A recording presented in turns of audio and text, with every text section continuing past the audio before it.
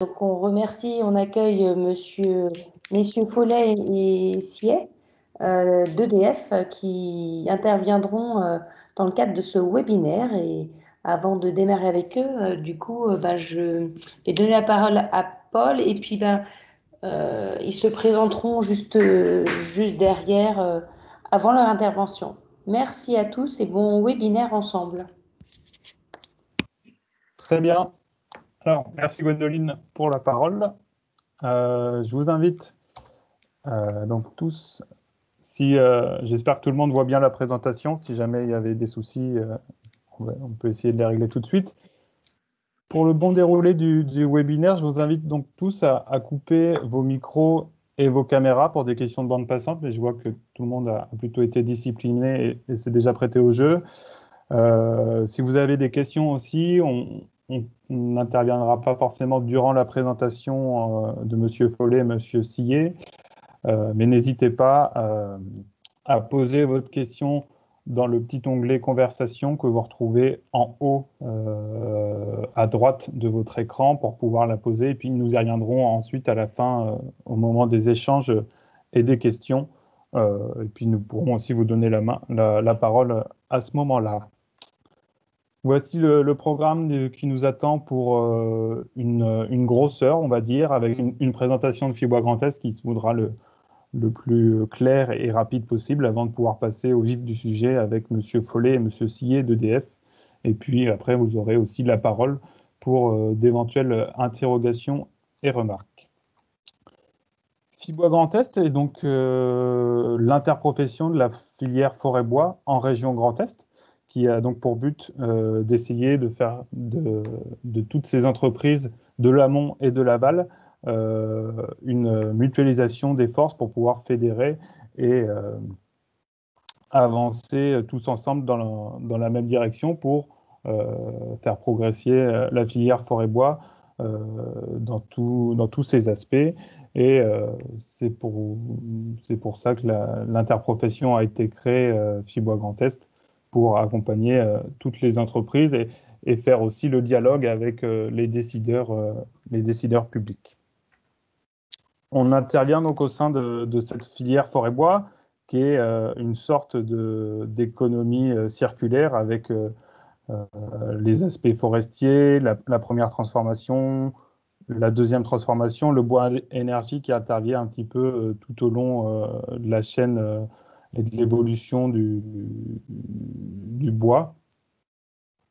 Et euh, nous sommes donc pour notre part, Fibois Grand Est, répartis euh, sur les trois anciennes régions, donc à savoir trois sites, euh, Strasbourg, Nancy et Châlons en Champagne, pour être le plus présent possible auprès des entreprises de, de, tout le territoire, que ce soit des entreprises de l'amont, des entreprises de l'aval, mais aussi les organismes de formation euh, liés euh, au bois et toutes les organisations professionnelles qui peuvent aussi intervenir dans notre, dans notre filière.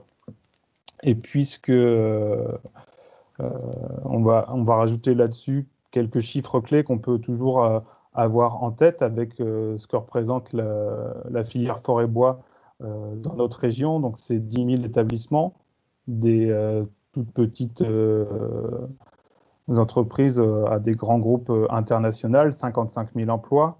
on est la deuxième région forestière en matière de récolte, la troisième région productrice de sillage et la première et le bois est la première énergie renouvelable régionale, puisque la forêt est une part importante du territoire, puisqu'elle recouvre 33% du territoire du Grand Est.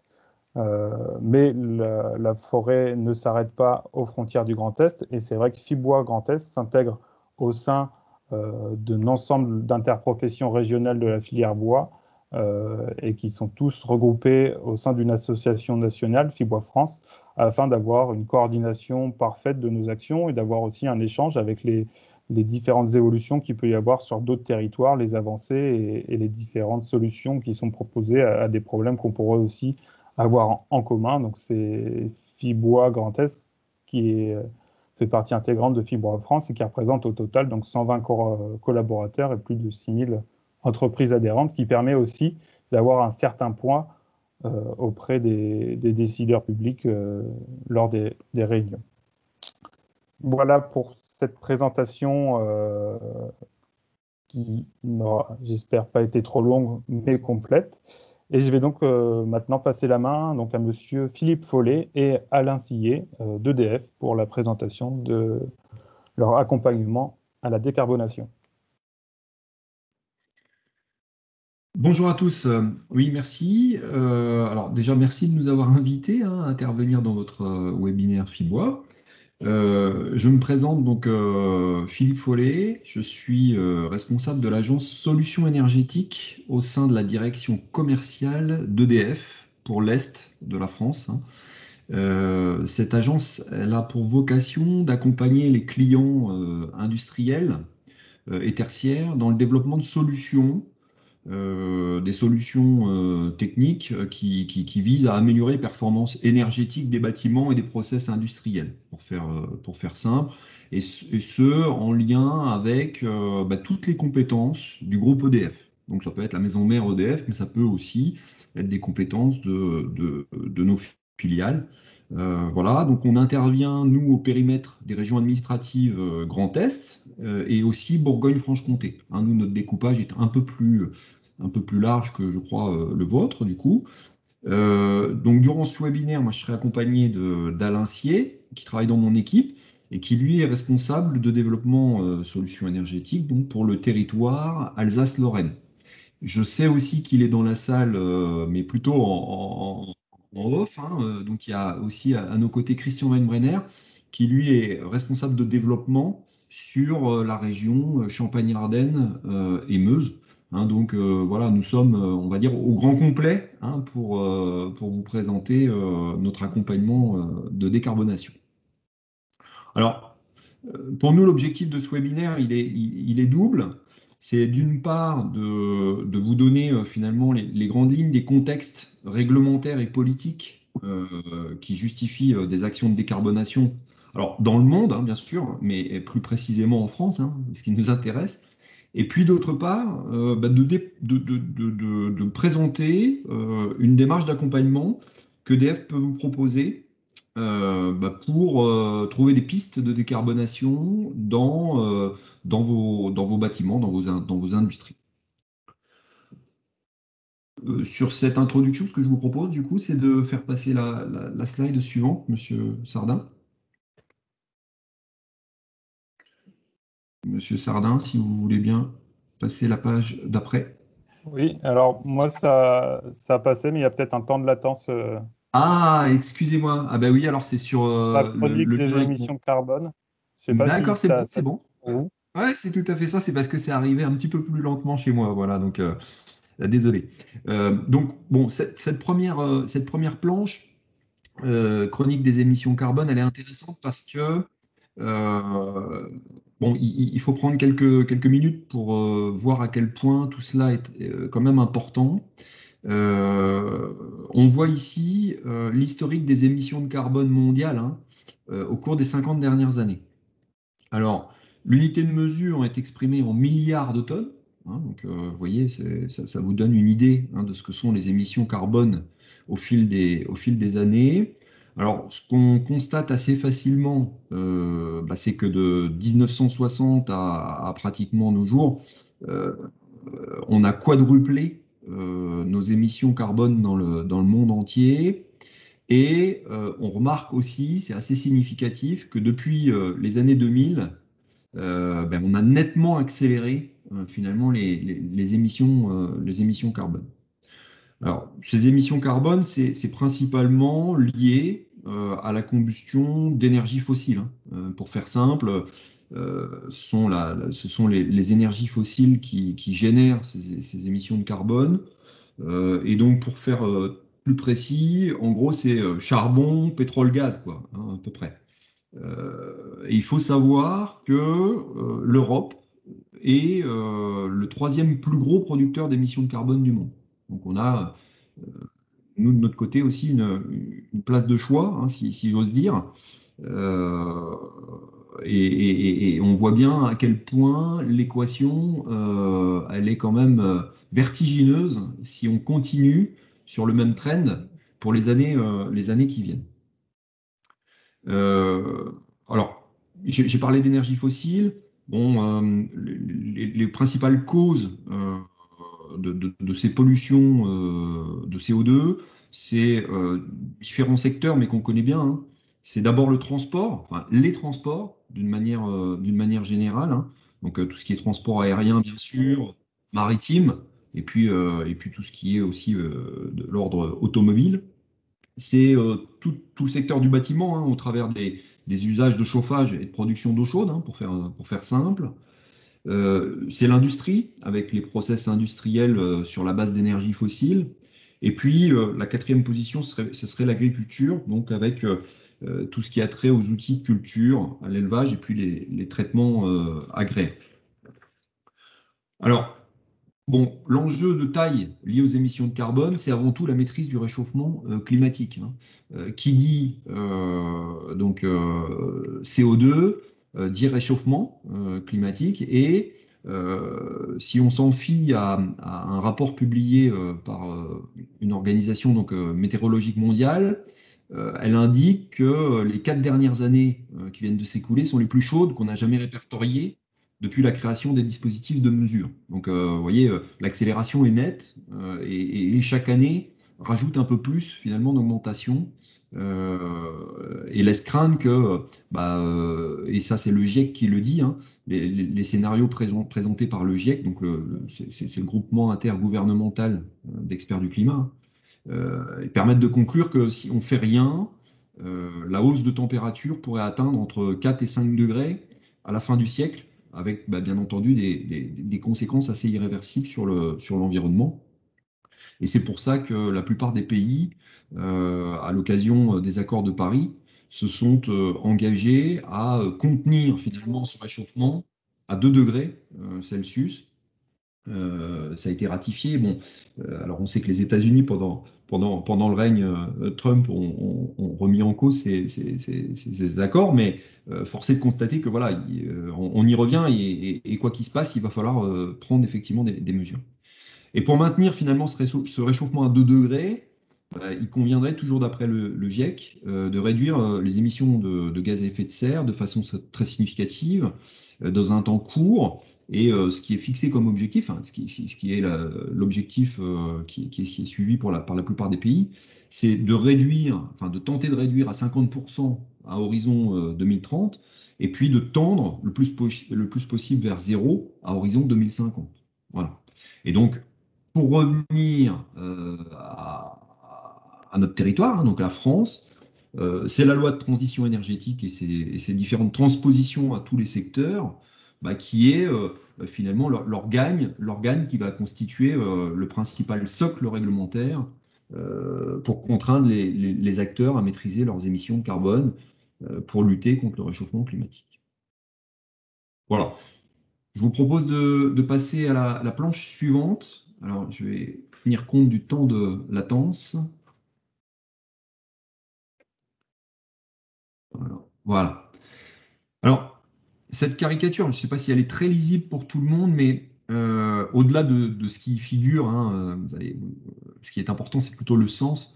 Elle est, intéressante parce qu'elle permet, euh, je trouve, une, bonne vue d'ensemble sur les différentes facettes du plan de relance, hein, France Relance, dont tout le monde a, plus ou moins entendu parler. Hein.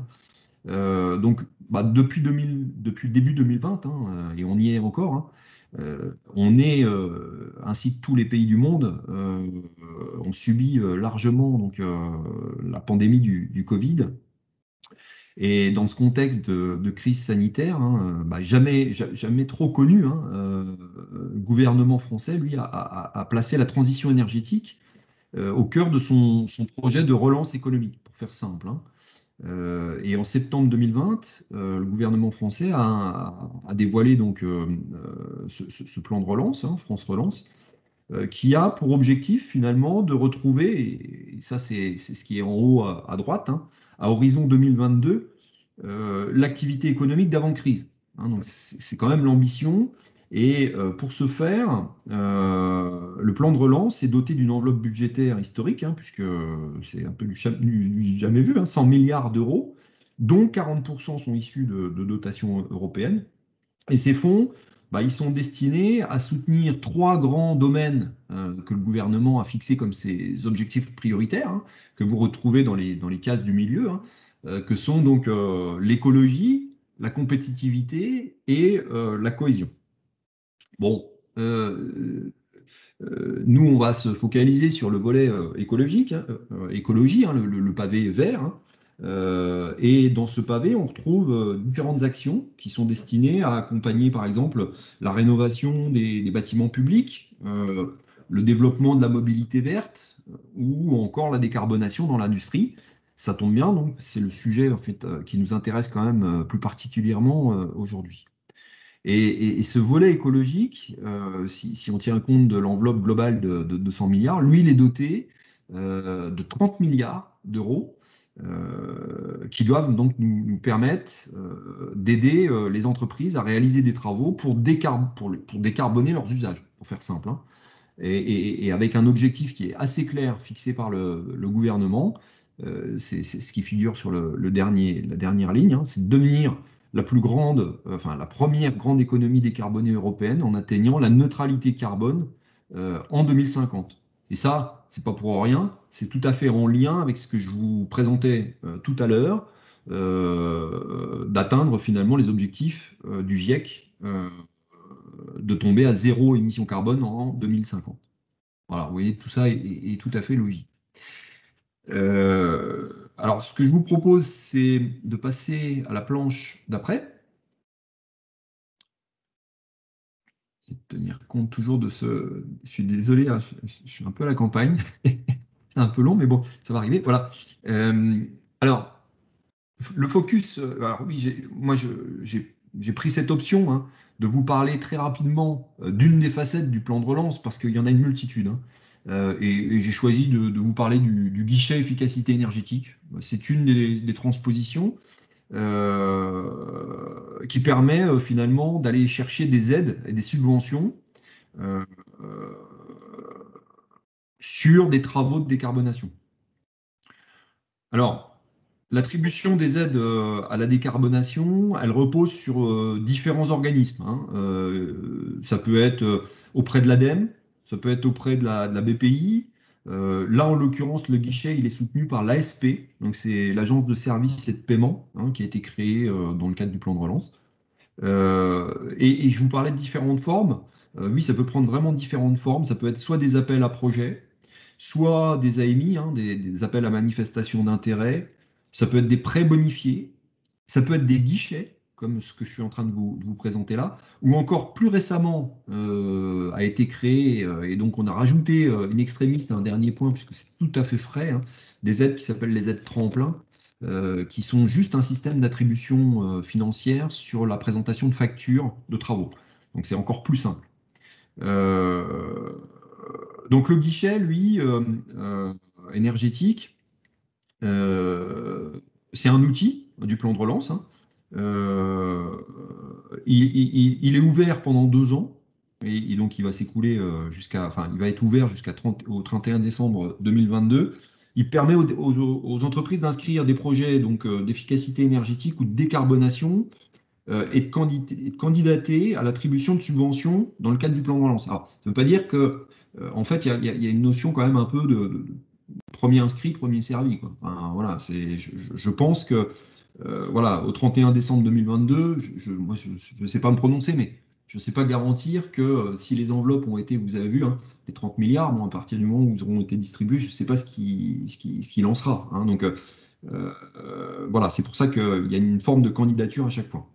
Là, dans le cas présent, le guichet, lui, il faut faire des travaux qui s'inscrivent dans 18 solutions techniques ont été décrites dans un arrêté hein, euh, euh, et correspondant donc à, à, des travaux, à condition que ces travaux soient limités euh, par leur budget et ne dépassent pas 3 millions d'euros. Ça laisse quand même des champs de manœuvre.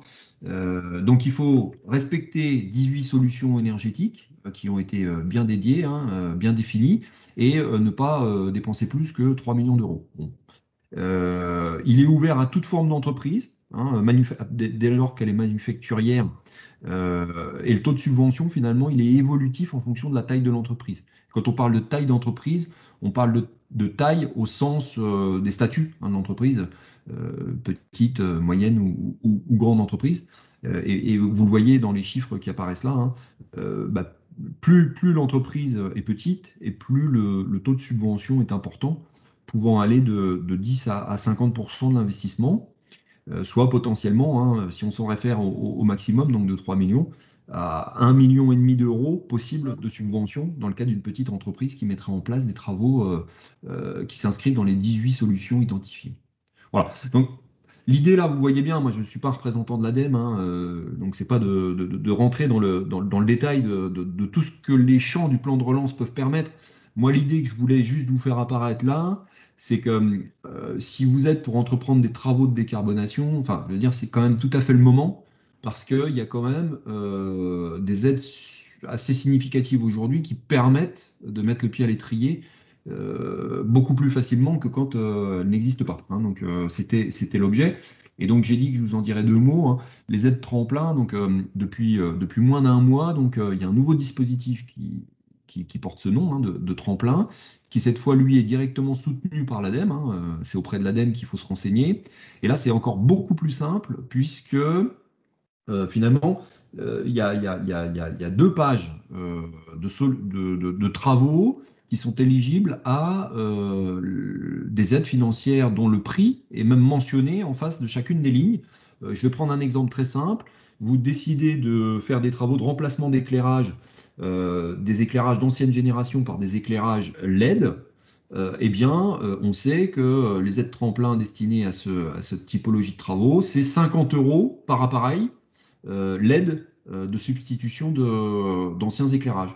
Donc, euh, euh, si on s'en réfère à un certain nombre de, chiffres qu'on connaît pour de l'industrie, euh, grosso modo, on, est à une trentaine, voire une quarantaine de pourcents de l'investissement avec ces aides. Hein. Donc, voilà, c'est c'est très simple, il suffit de produire juste la facture de travaux réalisés par... Euh, alors, devis plus facture, hein, bien sûr. Euh, déjà, on, fournit le devis et après on fournit la facture.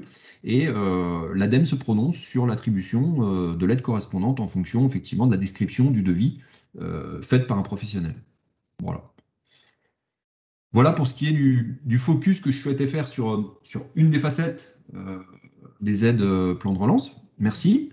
alors, euh, cette planche est intitulée euh, Une jungle de règlement et d'aide. Bah oui, tout à fait, puisque on vient de le voir, hein, euh, le réchauffement climatique, il est au centre des politiques, avec d'un côté des contraintes réglementaires hein, qui tendent à développer des actions de décarbonation, et puis de l'autre, on vient de le voir, des aides de plus en plus nombreuses destinées finalement à relancer l'économie en facilitant les démarches des travaux liés à la décarbonation.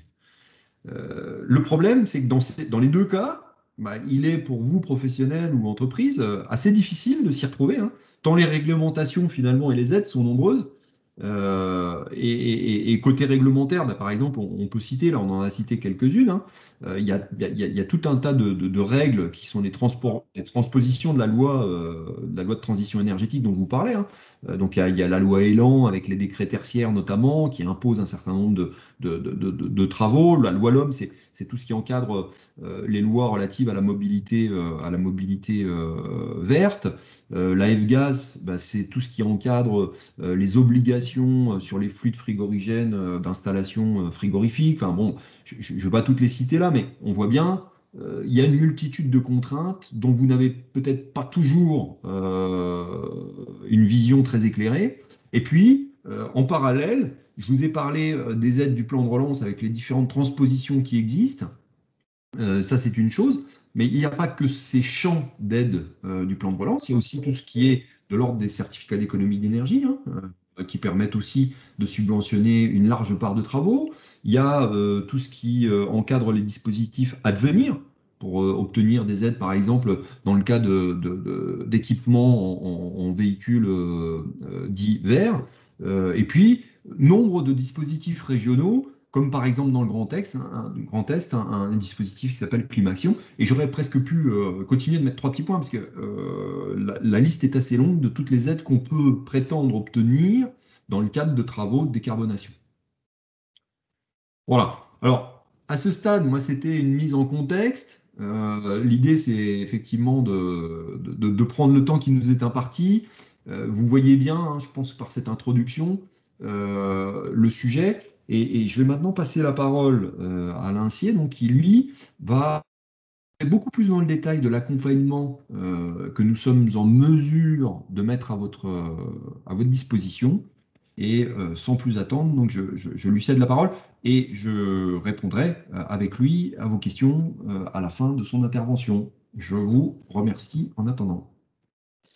Oui, bonjour à tous et à toutes. Excusez-moi. Donc, comme l'a présenté Philippe, on a beaucoup d'éléments ou réglementaires ou, ou d'aide. Donc, pour vous accompagner dans ce contexte, EDF, nous avons développé, nous, un accompagnement qui tend à justement vous aider dans votre démarche de décarbonation à la construire. Alors, on va bien évidemment, quand on parle de démarche de décarbonation, aller de l'identification des gisements de, CO2 et mettre en parallèle eh ben, la veille réglementaire qui vous impacte et les recherches d'aide et de subventions qu'on peut associer à cette, à cette approche. Donc, on trouve bien nos trois, nos trois blocs qui sont l'identification des gisements CO2, la veille réglementaire, l'aide et la subvention, et tout cela s'articule autour d'un service qu'on a nous nommé l'Opti Impact CO2. Donc c'est ce service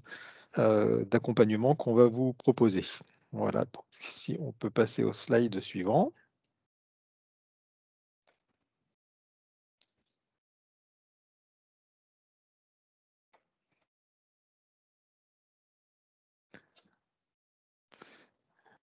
Merci. Donc cet accompagnement Opti Impact CO2, euh, il consiste en une traversée d'usine ou de bâtiment, parce qu'on peut aussi euh, l'appliquer sur du tertiaire, mais où il y a quand même des, éléments de, process qui sont euh, identifiables. donc cette traversée d'usine, elle va donner lieu à un bilan CO2 du, du, bâtiment. on va ensuite avoir des préconisations sur système que je développerai après. Et on aura une remise de synthèse suite, à cette, suite à ces préconisations. Donc, on a une remise d'un document. donc, les systèmes qu'on va, qu'on va aborder lors de cette traversée d'usine, donc on va regarder l'autoconsommation électrique solaire, donc tout ce qui peut avoir comme perspective, donc c'est les équipements photovoltaïques hein, sur le site. voir si... ah. Garde as Voilà.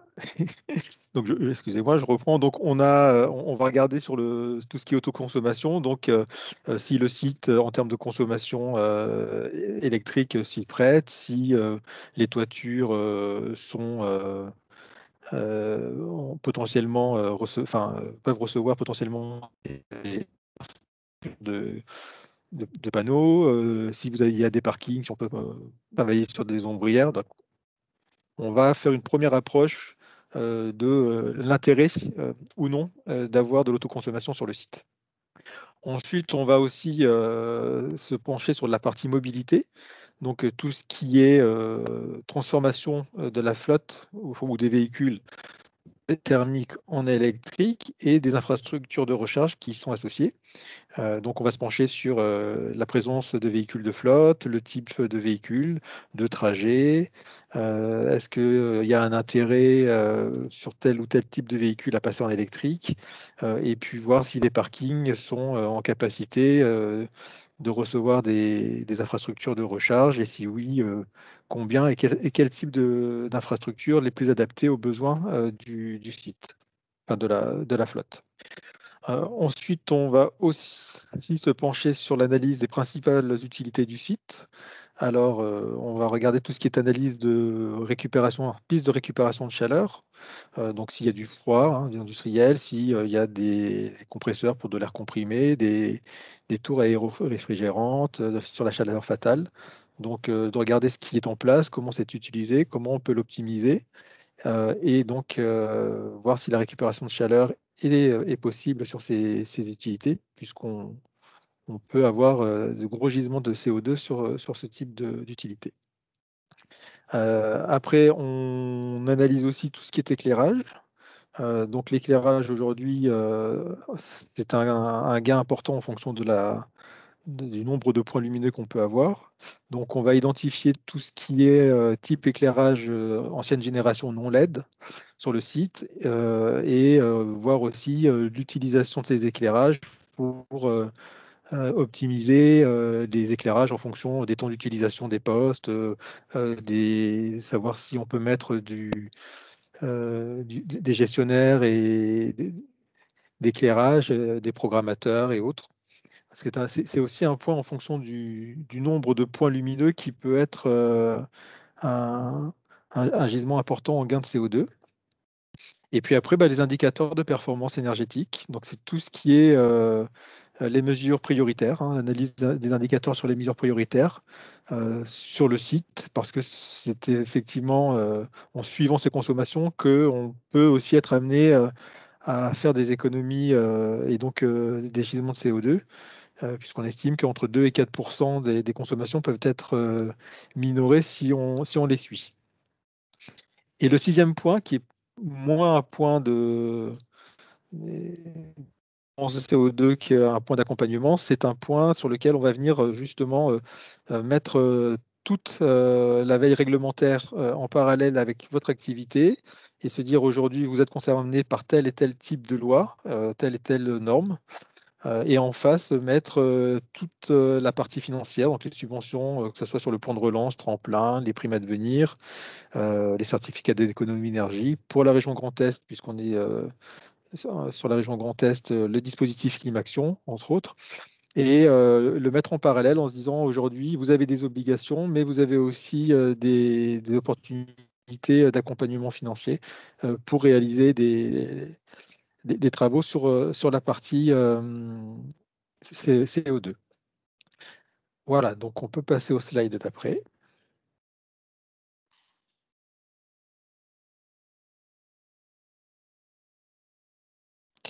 Donc les avantages de ce service, c'est que vous, allez disposer d'une photographie CO2 de votre usine. Euh, donc vous aurez le poids CO2 de, de, votre usine, de votre bâtiment, enfin des, ce qui, aujourd'hui est important, vous aurez un point zéro en vous disant aujourd'hui, mon, bâtiment, mon usine a un poids de X tonnes de CO2. Euh, donc, c'est la photographie du, du, point de départ. vous allez disposer d'un document de synthèse. alors, c'est un vrai document de synthèse, hein, on, le présentera après, dans lequel vous allez retrouver bah, toutes les utilités et, usages que vous avez sur le site et euh, toutes les préconisations euh, d'économie de CO2 et leurs impacts euh, qui y sont associés. Donc vous avez un, carnet de route. ensuite, vous allez avoir la possibilité d'être accompagné par le groupe EDF sur chacun des domaines qui ont été marqués comme intéressants et, et, avec des opportunités sur les gisements de CO2. Alors, on va de l'étude jusqu'à la réalisation des travaux, si, travaux il y a. On vous accompagne sur tout ce qui est veille réglementaire, par secteur d'activité et par thème. Donc là, vous avez une grille de lecture qui est simplifiée. on vous accompagne aussi sur les différentes perspectives d'aide, hein, c'est ce que je disais précédemment, donc que ce soit le plan de relance, l'éligibilité, les aides régionales et autres. Euh, pour vous donner une trajectoire en disant de, que tel type de travaux qui euh, peuvent être envisagés peuvent être accompagnés par tel type d'aide. Voilà. Euh, et le prix de ce service, il est de 900 euros par site, enfin à partir de 900 euros par site. et c'est le point de départ d'une démarche neutralité carbone pour vous. Voilà pour moi.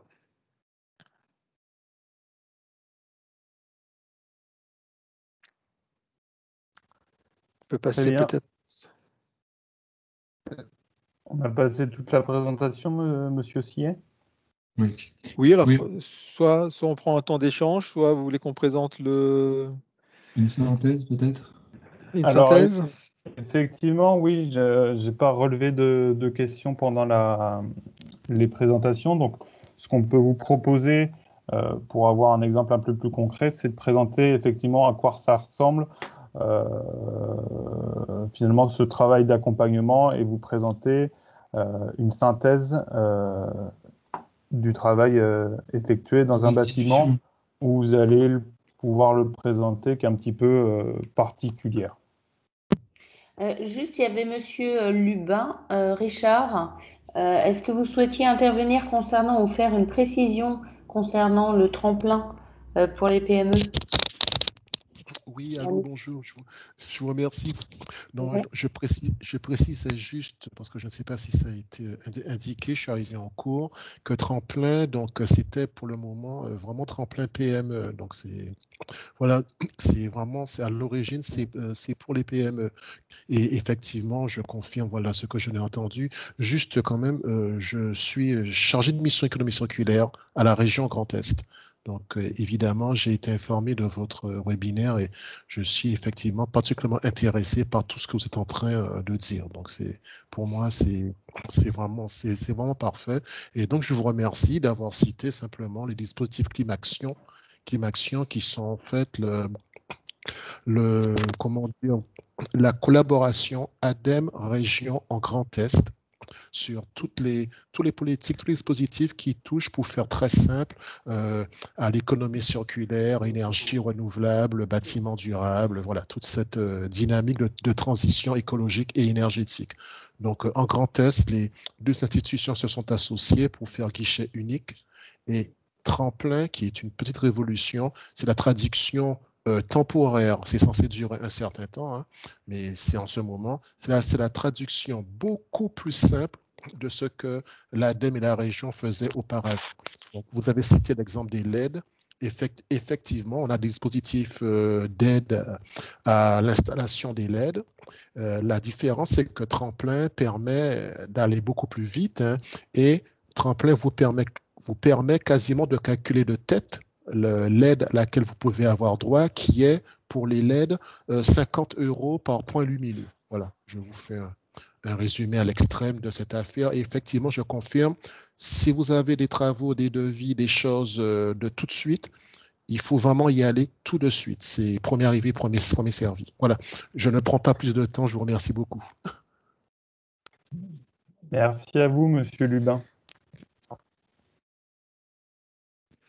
Alors, on, euh, Alain, tu, me dis, hein, mais euh, on, peut présenter ça à, deux, à, deux, voix, voire même. Alors, je, sais que Christian est dans la salle, donc euh, comme c'est lui qui a produit les, comme c'est lui qui a produit les, synthèses. Enfin, je sais pas, Christian, tu, ou tu veux en parler peut-être. voilà, je. Ouais. Bah oui. Bah, vas-y, Christian, on te passe la parole, c'est encore mieux parce qu'il y a ton nom qui bah figure et c'est des synthèses que toi tu as faites. Donc là, dans le cas présent, je crois que c'est celle de Jean Lys, me semble-t-il. Donc la typologie, c'est un industriel, hein. un industriel du métal, hein, Christian. C'était plutôt là sur le, bâtiment tertiaire, mais on peut présenter le. Ah bah pardon, excusez-moi, autant pour moi. Alors oui, on, a, on en a choisi deux, donc euh, mais dans les deux cas, c'est toi, Christian, qui les a faites, donc. Euh. On peut dire, de façon générale, c'est qu'à travers cette traversée d'usine, on trouve toujours des choses. Hein. on amène notre œil nouveau, en fait. Euh, euh, et on voit forcément des choses que, que, vous ne voyez pas, je dirais, au quotidien. Hein, par expérience, sur l'ensemble des, visites que je fais régulièrement, on trouve toujours des choses à, améliorer. Sur ce client tertiaire, en fait, euh, il a une activité tertiaire et une activité atelier. Hein, et donc, euh, on retrouve l'éclairage, hein, comme vous venez de le citer auparavant, on a sur site, alors oui, euh, je vais faire dans l'ordre, excusez-moi, l'autoconsommation, on aborde toujours l'autoconsommation. L'idée, c'est de donner aux clients déjà une première approche sur quel serait, je dirais, le, générateur euh, photovoltaïque qu'il pourrait mettre en place. Vous voyez là, euh, en l'occurrence, il a des bâtiments qui s'y prêtent pas forcément. Il a un peu de toiture où on pourrait éventuellement installer des panneaux photovoltaïques. On est sur une surface de 200 mètres carrés et 36 kW de crête. Il faut savoir que pour ces tailles euh, de puissance, euh, on n'a pas d'accompagnant avec notre filiale. On lui donne un trait indicatif quel est le, je pourcentage de couverture qu'il pourrait avoir et, le taux d'autoconsommation. Mais euh, quand on est juste avec des, générateurs photovoltaïques inférieur à 100 kW, en fait, avec notre filiale, ça ne correspond pas tout à fait. voilà, C'était un exemple. On lui indique quand même qu'on on peut, on peut regarder un petit peu plus loin. Je vais vous demander d'avancer, s'il vous plaît.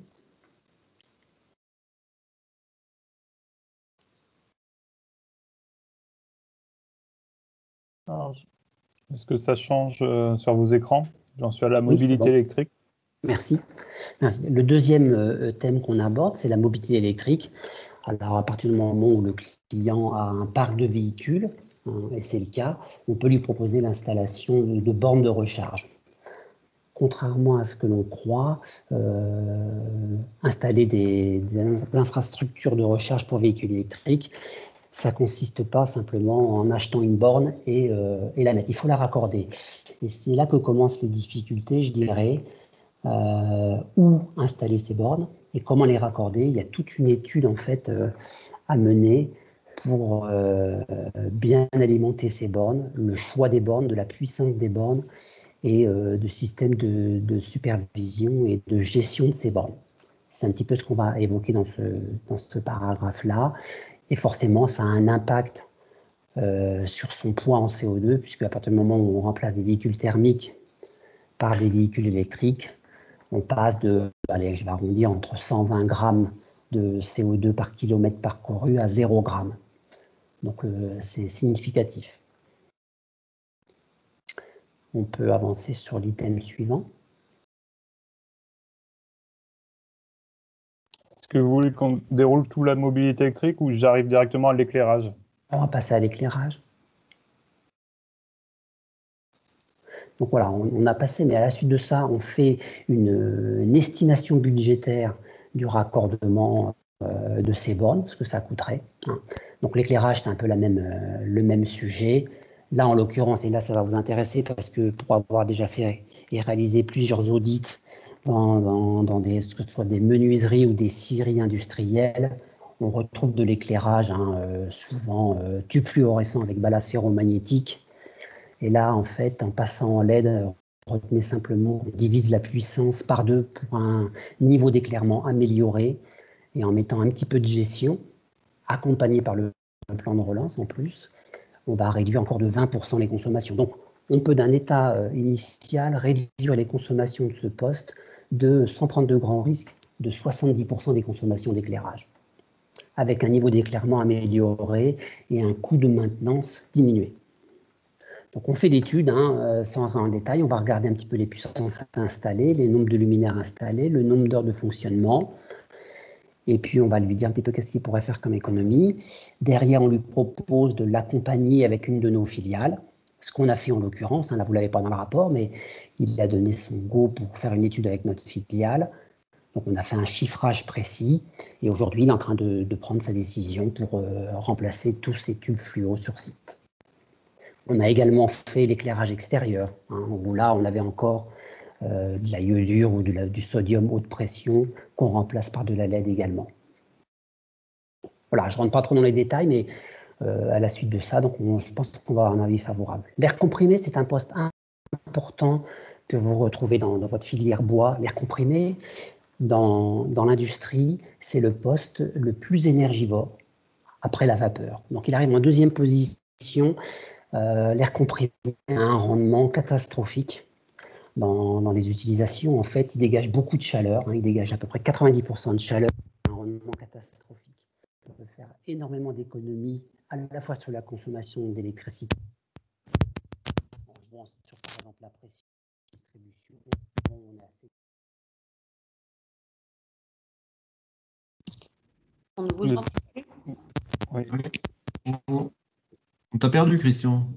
je, je, pense que son, son micro euh, frotte lorsqu'il parle. Ah. Euh, mais bon, c'est, je, vais reprendre, je vais reprendre au vol. Ouais, donc, euh, effectivement, sur l'air comprimé, ce que disait Christian, c'est que c'est un, un gros consommateur de, d'énergie pour un, une restitution qui, euh, qui, qui, n'est pas en phase. Donc, on a beaucoup de, de, déperdition et cette déperdition se fait au travers de la chaleur. Donc, le, le, le tout l'enjeu, c'est de récupérer cette chaleur pour la valoriser et donc ne, faire des économies de, de, CO2 en valorisant la chaleur pour éviter d'avoir d'autres types de création de chaleur là où on a des usages. On peut passer.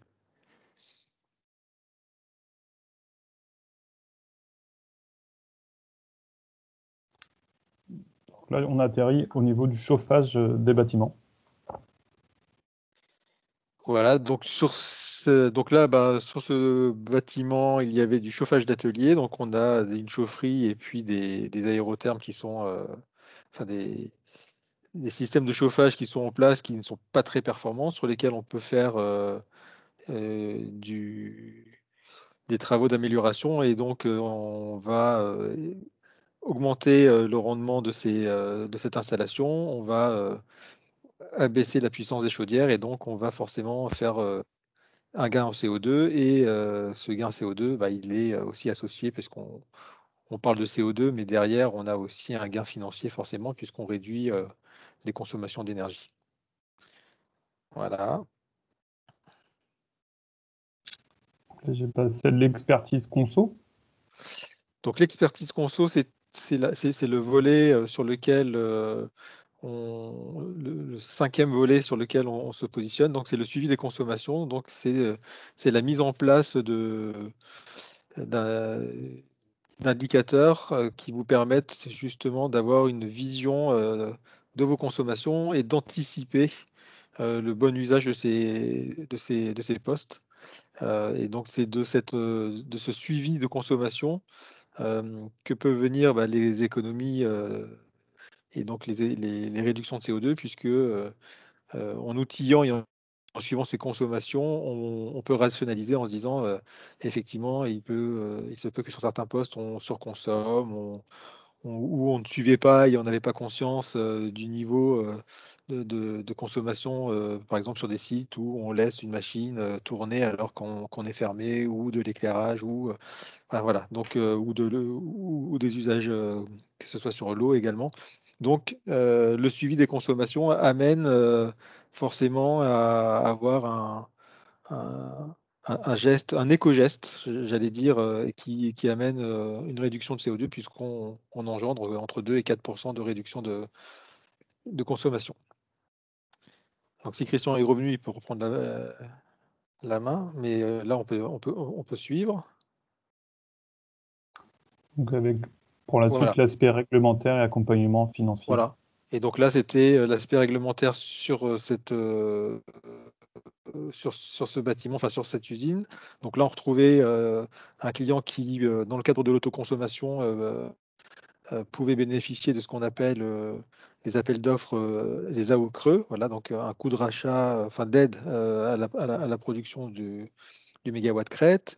il y a la loi LOM, donc la loi d'orientation de, la mobilité électrique, avec donc ces obligations qui étaient d'équiper d'ici 2025 une place de parking euh, toutes les 20 places. Euh, donc là, le client était, euh, était impacté, donc il fallait qu'il qu'il l'envisage.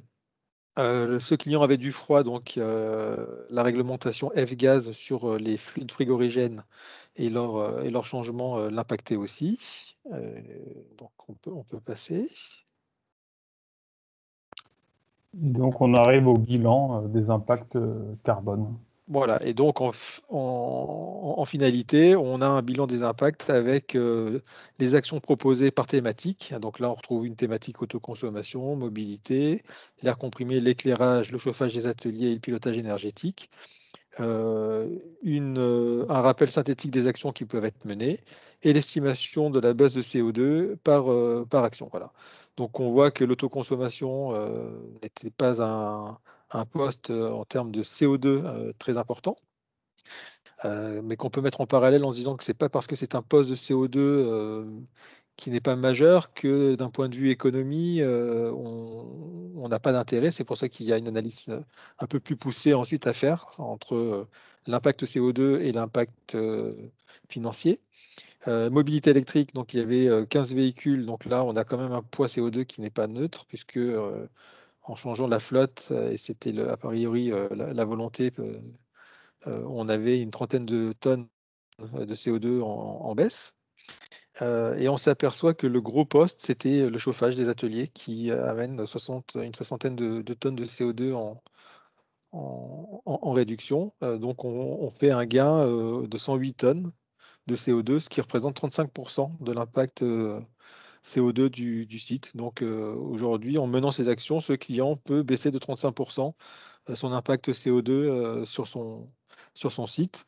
Et bien évidemment, quand on parle d'impact CO2, derrière, il y a aussi un impact sur la facture énergétique. Et alors, de rajouter que sur le volet chauffage, et au regard de ce que euh, on disait préalablement sur les récupérations de chaleur captive hein, euh, du process air comprimé, hein, dont on sait que finalement compresser, de l'air, ça, engendre euh, un phénomène de, récupération de calories important. Hein. La plupart des installations aujourd'hui ne sont pas dotées d'un système de récupération de chaleur. Et en se dotant d'un système de récupération de chaleur sur le process air comprimé notamment, mais ça peut être aussi sur du froid ou tout autre type de process, et le réinjectant dans le système de chauffage, puisque là on l'a vu, il y a un usage chauffage qui est quand même assez prépondérant, puisqu'il s'agit d'un atelier, protégé, hein, mais euh, il pourrait y avoir des bureaux, il pourrait y avoir enfin toute autre forme de besoin en calories, voire même de, préchauffage de process. Hein. Euh, l'utilisation d'une énergie captive est toujours un intérêt puisque euh, c'est ce qu'on consomme de moins et ce qu'on a de moins à produire avec de l'énergie primaire. Et, c'est tout le sens finalement de ce diagnostic qu'on fait de regarder l'interférence et l'interfaçage possible entre les, différents usages. Voilà. Euh, et donc le poids euh, chauffage euh, s'en ressent et, permet effectivement d'aller là afficher un score de, enfin une perspective d'économie CO2 assez significative. Voilà. Bon, je ne suis pas sûr que ça vaille le coup qu'on passe en revue une autre synthèse, hein, puisqu'elles ont toujours le même, vous l'avez vu, hein, la, même structure. On retrouve juste euh, au passage euh, des analyses qui sont plus ou moins orientées sur les différents thèmes, puisque chaque client a des spécificités qu'on ne rencontre pas euh, chez les autres. Hein. Euh, et notre objectif, vous l'avez bien compris à travers cette synthèse, elle n'est euh, absolument pas de faire apparaître ni des notions de CAPEX, ni des notions d'OPEX à ce stade. On est vraiment focalisé exclusivement sur le CO2. Hein. et on se propose après, soit d'aller plus loin, parce qu'on en a la compétence sur l'ensemble des domaines qu'on couvre, soit vous avez toute l'attitude vous-même après à euh, aller euh, chercher des compétences autres. Hein. Il n'y a pas d'obligation euh, d'aller dans un cycle avec nous sur d'autres sujets. C'est la photographie état zéro pour un plan d'action à construire. Voilà. Très souple.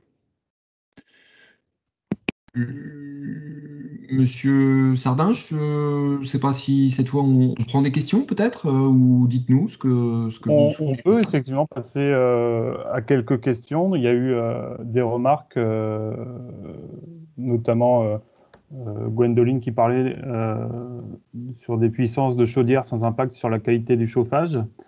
et puis il y avait une remarque de Monsieur Duquesne sur un axe de diminution de consommation d'air comprimé et euh, la chasse aux fuites. Euh, Exactement. Oui, c'est tout à fait vrai. Euh, ouais. Si vous voulez approfondir là-dessus, ou si Gwendoline, tu ah ben, sur les fuites, moi je veux bien, je veux bien juste dire deux mots. Et puis, je ne sais pas si Christian a retrouvé la parole, mais il est, il est chez nous justement assez expert sur le domaine de l'air comprimé. mais typiquement, effectivement, sur une installation de distribution d'air comprimé sur les différents postes de travail, vous voyez bien que les, les rampes, euh, les rampes de distribution euh, sont aujourd'hui pas forcément toujours le souci. Et l'un des premiers sujets qu'on regarde, effectivement, c'est le taux de fuite d'une installation. Et on s'aperçoit que entre le entre l'usage euh, au poste de travail et la, la, source, hein, c'est-à-dire la production de l'air comprimé, le, taux de perte est énorme, énorme, effectivement, et on, y travaille parce que ça fait partie des premières pistes assez simples à mettre en œuvre et peu chères pour tout de suite faire des économies. Très bien. Gwendoline, je te laisse prendre la parole. J'avais une autre question. Euh, alors moi, une des premières, hein, puisque l'objectif c'est la neutralité carbone, que vous, on a vu qu'il fallait un objectif de réduction de 35 milliards de tonnes au global. Si jamais euh, on fait une extrapolation sur le nombre d'entreprises en France qui est de l'ordre de 800 000, il faudrait regarder au niveau mondial. multiplié par, si on prend votre exemple de 100 tonnes de CO2 économisées, on arrive à 80 millions de tonnes finalement économisées. Je ne sais pas s'il y a eu une estimation de fait de cet ordre-là. Donc, ça représente 0,2% du milliard global à économiser. Est-ce que il y a une estimation un peu euh, qui est faite par rapport aux moyennes euh, euh, de, tonnes de CO2 économisées et puis votre action en fait vous arrivez à le quantifier entre guillemets sur le gain le gain attendu?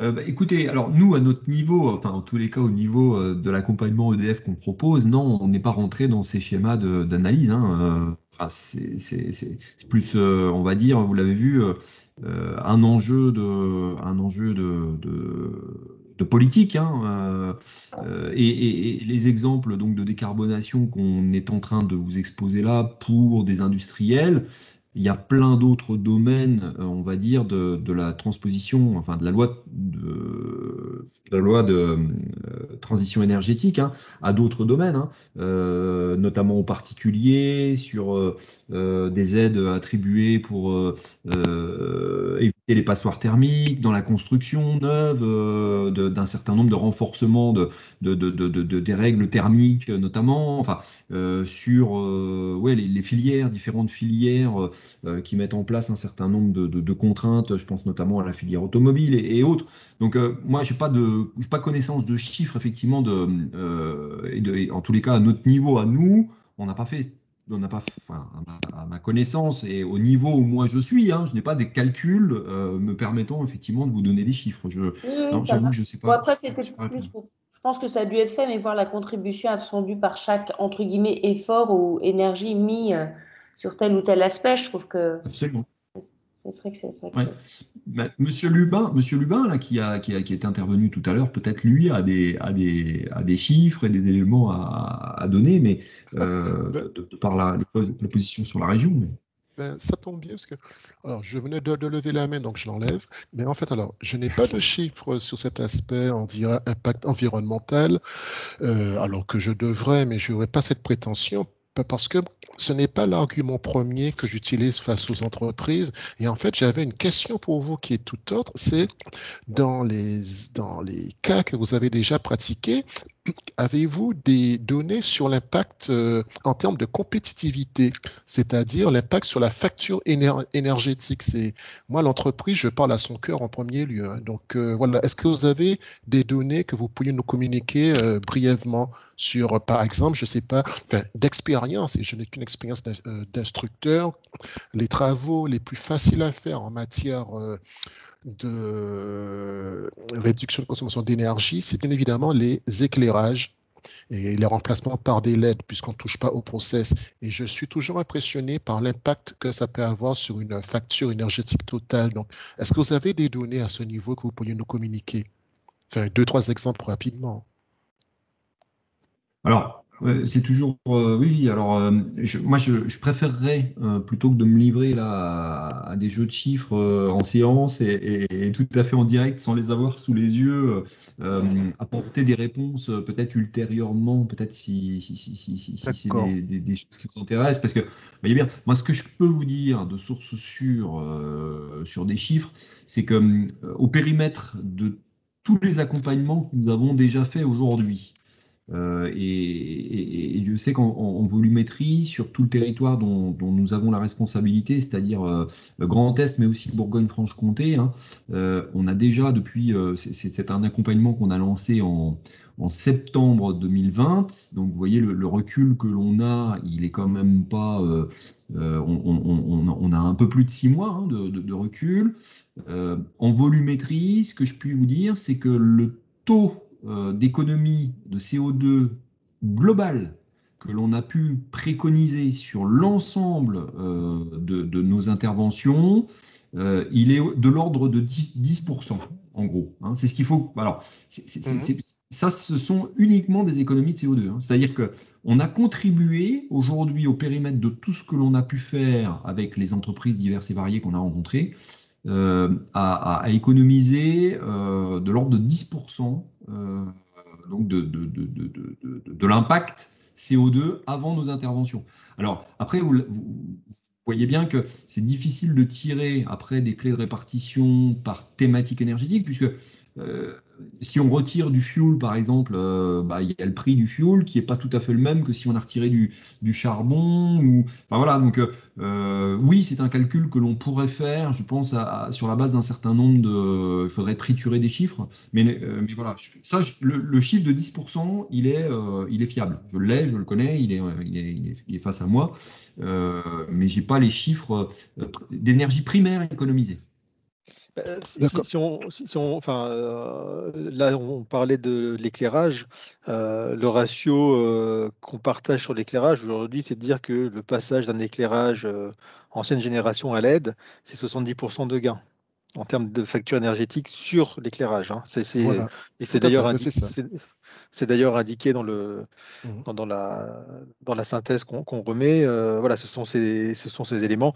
Euh, alors, en termes de compétitivité, euh, on a effectivement cette réduction sur la consommation d'énergie. et puis, on a les effets collatéraux qui sont, bah, si on sait que la LED, en termes d'entretien et de maintenance, elle est moins onéreuse que, que, des, que, des éclairages euh, ancienne génération. Donc, on gagne aussi sur le taux de rotation, de changement des, des, des, éclairages. Les éclairages durent plus longtemps. Donc, on, on a ce gain aussi qui, qui, vient se, se, rajouter. Mais à, date, enfin, la, synthèse et, l'approche CO2 qu'on a, elle est vraiment sur une approche de décarbonation et euh, j'allais dire l'effet euh, l'effet secondaire qui est un effet positif, c'est que ça a aussi sur certaines actions un effet euh, de réduction du coût et donc du gain de, de, compétitivité. Mais la première approche, elle est vraiment sur une approche CO2 et c'est ce qu'on disait au préalable, c'est que par exemple si on prend l'autoconsommation, l'autoconsommation peut avoir un impact en CO2 qui est minime parce qu'on est sur de la réduction de consommation d'énergie électrique sur laquelle on sait que l'impact CO2 n'est pas le plus, le plus important. mais si on le met en parallèle, si on veut aller plus loin et que le client nous dit oui, mais je, veux quand même faire du photovoltaïque, on peut s'apercevoir que sur un coût CO2 en, gain qui est mini, enfin qui n'est pas aussi important que ça, on peut avoir quand même un intérêt d'un point de vue financier. Mais la première entrée n'est pas l'intérêt que financier. Mmh. Et, juste en complément, par exemple sur euh, une installation d'air comprimé dont on parlait tout à l'heure, généralement les, investissements qui sont faits alors euh, en allant euh, soit d'une recherche de fuite bien sûr ou à, l'installation complète hein, centralisée, on, reprend on va dire l'intégralité d'une installation, hein, ça, peut être le cas, hein, on change complètement tous, les, tous les appareils pour avoir quelque chose de plus performant. Les TRI, enfin les taux de retour, euh, qui, finalement, euh, avec euh, tout ce qui gravite autour des aides C2E au titre des récupérations de chaleur, voire même des aides du plan de relance, on tombe à des, taux de retour qui sont, souvent proches de moins de deux ans. Quoi. Donc on est, on faut regarder plutôt une notion d'équilibre économie CO2, capacité d'aller lever des fonds euh, et, effectivement économie euh, derrière d'exploitation. De, voilà, donc pour chaque thème, les, les, les, les cas sont différents. Voilà. C'est un peu une réponse de Normand peut-être qu'on vous fait, mais euh, c'est difficile effectivement d'en tirer une réponse très très très, très, très, très, claire et très pragmatique. Quoi. Voilà mais il n'y a pas de, souci, vous m'avez parfaitement répondu. Hein. Donc, euh, effectivement, ça induit des, économies sur facture qui sont assez significatives parfois avec des TRI, je confirme complètement, hein, après, aide, après aide publique, des TRI qui tombent à parfois 4-3 ans sans aucune difficulté. Donc, c'est des, des, actions euh, tout à fait intéressantes. Dernier, dernière, euh, comment dire, dernier avantage que je ne mesurais pas avant de l'avoir vu, c'est l'impact sur sur l'image de l'entreprise. Donc, des entreprises qui s'en servent pour communiquer justement sur, sur du verdissement, mais qui n'est pas simplement du verdissement. Il y a des vrais impacts en termes euh, de diminution d'émissions de gaz à effet de serre. Et ça, c'est des choses qui peuvent être euh, assez différenciantes par rapport à des cas des clients qui sont de plus en plus sensibles. Mmh. Voilà.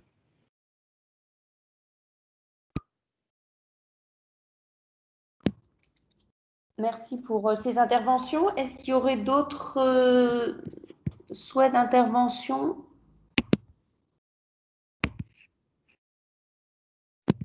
A priori, on a l'air d'avoir fait le tour.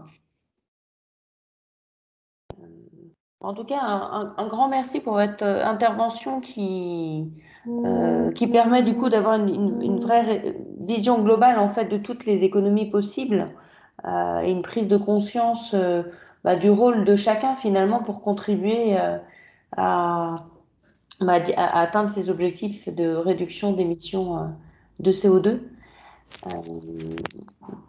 Est-ce que si vous vouliez rajouter un petit mot ou, alors moi, je, alors encore une fois, je vous remercie pour euh, votre invitation. Euh, on, est, euh, on est tout à fait disponible, hein, bien entendu, pour aborder le cas échéant des, problématiques particulières avec les uns les autres. Hein. N'hésitez pas à nous contacter. Alors on n'a pas mis de coordonnées là, passez par bien sûr vos, interlocuteurs peut-être de, Fibois. Hein, et on est, on est enthousiaste et on attend en tous les cas euh, de pouvoir, euh, le cas échéant, répondre plus particulièrement à des problématiques de, certains d'entre vous. Euh, voilà, enfin, vous, vous, savez maintenant que on peut vous accompagner et, on s'en ferait un, grand plaisir. Voilà, voilà. Très bien. Un grand merci à vous. Excellente soirée à tous. Oui, peut-être Gwendoline, juste pour expliciter un petit peu aux, participants pour la suite. donc, on transmettra évidemment la vidéo de cette présentation ainsi que euh, la présentation euh, écrite pour la suite. Et puis on transmettra aussi les, les informations, euh, les coordonnées de, de M. Follet, Siguet et Christian Weinbrenner. Voilà. Très bien. Au revoir. Au revoir. Merci à tous et bonne soirée. Au revoir.